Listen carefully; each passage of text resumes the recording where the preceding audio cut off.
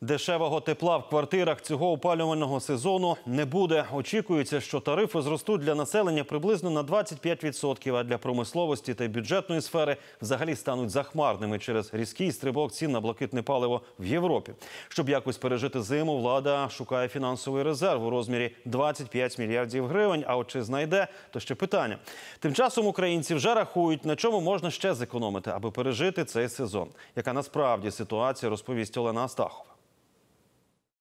Лампочки економні. Слава Богу, десь три роки назад холодильник поміняли. Теж кіловат на 15 на 20 на місяць менше. Теж значить. Херсонцям оголосили новий тариф за тепло – 2060 гривень за гігакалорію. Він на 40% більший, ніж торішній. Боргів у подружжя немає, але прийдешньої зими щомісяця доведеться віддавати за тепло одну пенсію. За прошлий рік було 6455. Цей уже опалювальний сезон буде. Ну, вже буде десь плюс 3 тисячі. Але не всі мешканці такі сумлінні. За попередні сезони боржники винні Херсон теплокомуненерго понад 600 тисяч гривень. Підприємство погрожує не підключати будинок до опалення, якщо спільний борг перевищить 1 мільйон гривень. Із підвищеними тарифами люди платитимуть ще менше.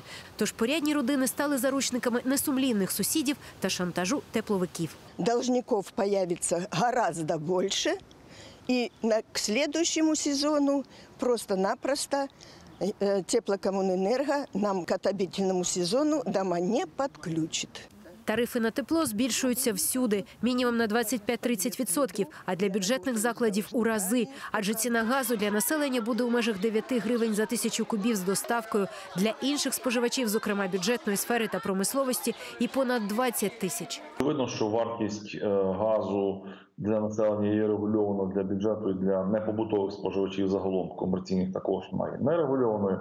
І тариф на тепло для комерційних споживачів для бюджету може вирости ну в рази. Аби пережити цей сезон і пом'якшити здорожчання енергоносія, держава має знайти десь 25 мільярдів гривень. Чиновники нині обмірковують, що можна залишити місцевим бюджетам на ці цілі частину податків, дотацій з інших державних програм.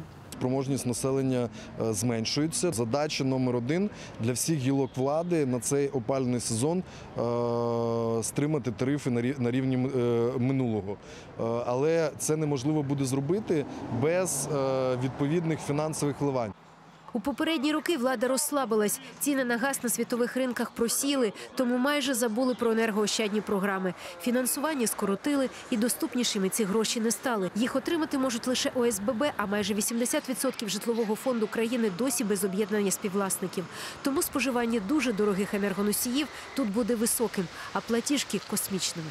Наші дискусії про е, дешевший газ, там про дешевший тариф, вони просто відтягають момент розплати за нашу бездіяльність, але вона акумулюється і придеться за це платити І хоча пан Валерій із дружиною живуть у будинку з ОСББ, рахують кожну копійку і розмірковують, де б ще заощадити, аби сплатити зимову комуналку. Кавуни були по 6, по 4 ми не брали, а вже коли тут по 2 гривні, по півтора ми вже тут беремо, вже теж економимо. Олена Астахова, Олена Гарячева, Даніл Сліж, Данило Тузов. Факти ICTV.